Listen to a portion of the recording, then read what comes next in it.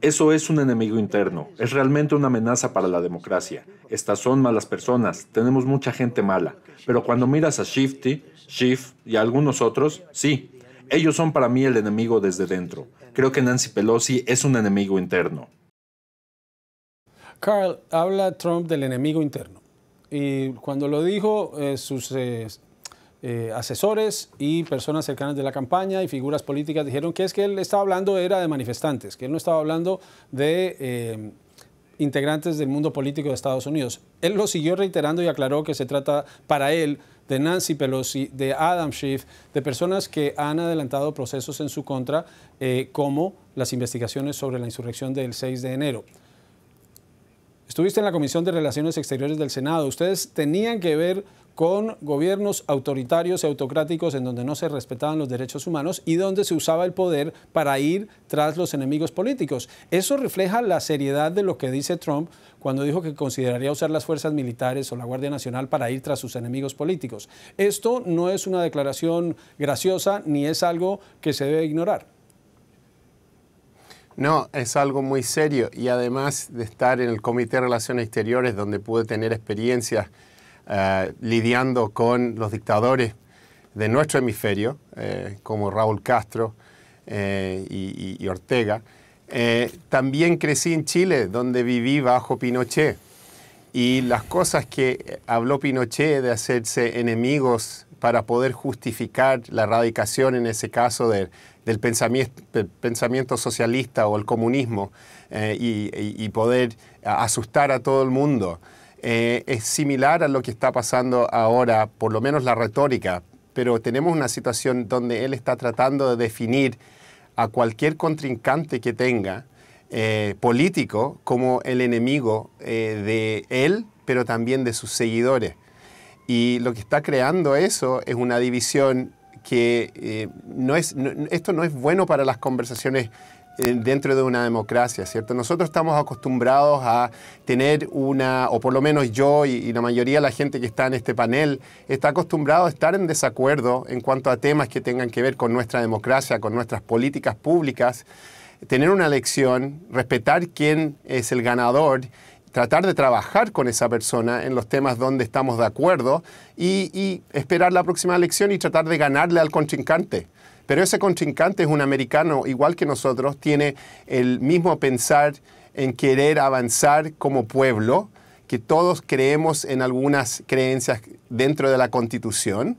Y lo que está pasando ahora con Donald Trump es que él está realmente cambiando el tenor de lo que tenemos y nos está llevando a un camino, a un sendero que se parece mucho más a las dictaduras que hemos visto en la región. Desafortunadamente, hablamos del excepcionalismo americano, ¿cierto? Lo que estamos demostrando aquí es que nosotros no somos tan excepcionales y que estamos eh, vulnerables a los mismos... Eh, las mismas situaciones difíciles que han vivido otros países en la región y en el mundo, que se han visto, que han usado eh, procesos democráticos para subllevarlos y crearlos eh, o llevarlos a una dictadura. Pienso de inmediato en lo que ha pasado en Venezuela.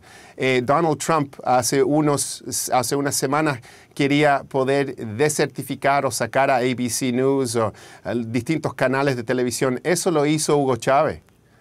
Entonces estamos hablando de los pilares fundamentales de, nuestro, de nuestra democracia, eh, la libertad de expresión. Estamos hablando de no poder estar en desacuerdo con gente que está eh, en otro partido político al nuestro. Entonces veo estas cosas como eh, símbolos bien claros de lo que sería un gobierno Trump y va más allá de las políticas públicas. Aquí estadounidenses, americanos que creen y que comparten una creencia, una lealtad a nuestro, estado, eh, a nuestro estilo de vida, a nuestra manera de vida, deberían ver lo que está pasando con Donald Trump como una amenaza muy grande y deberíamos reaccionar de manera no partidista. Esto va a las creencias de Estados Unidos, no a los partidos. Eh, y debería ser algo muy simple para nosotros de elegir ah, democracia por sobre del autoritarismo y la dictadura. Juan, mencionaba lo que te decía el migrante. Eh, la esperanza de que Trump fuera otro Reagan. Y hay diferencias muy profundas y hay algunas eh, similitudes si uno se pone a, estudiar eh, lo que fue el movimiento de Make America Great Again, que es algo que surgió con Ronald Reagan y que luego Donald Trump incorporó y apropió. Mm, me quedó sonando la, la, más reciente declaración de Trump antes de que grabamos este programa diciendo que Estados Unidos era la caneca de basura del mundo. Es decir, que los migrantes son basura. Eh, ese es el mensaje que está enviando nueve días de las elecciones, pero aún así la, contienda está empatada y entre los latinos Donald Trump tiene un respaldo considerable, similar o superior al que tuvo George W. Bush, a quien le fue muy bien entre los hispanos. Así es, y, mi amigo Didier hace unos momentos decía que cómo es que todavía pedimos los latinos que Kamala nos explique, que nos explique en qué cree, quién es ella pero es que es, la realidad de este momento. O sea, nos encontramos, alguien dijo, creo que no estoy de acuerdo, pero que es hasta un debate, una campaña, una elección de género. O sea, las mujeres en general, parece ser, incluyendo latinas, que están votando por, por Kamala, y los hombres, desgraciadamente hasta los latinos, y no lo puedo creer, están yéndose, no en su mayoría, pero en un porcentaje creciente, eh, eh, eh, este, aprobando a Trump o diciendo que a lo mejor van a votar por él. No sabemos qué nos vamos a encontrar, hemos tenido grandes sorpresas, veamos en México, ¿no? Yo, yo estaba seguro que iba a ganar Xochitl Galvez y ganó casi por lo doble. Eh, eh, Claudia, por cierto, llevando a México a un tipo de Venezuela. ¿eh? Tenemos que estar muy al pendiente de esto. Sin embargo, ¿por qué ganó este, Biden las elecciones en contra de Trump? ¿Por qué? Porque fue claro y se fue al centro. Él sí nos dijo claramente en qué creía. Eh, Kamala Harris, desgraciadamente, ni mejora en las entrevistas, ni en CNN, ni en Univisión, no contesta claramente en qué cree ella.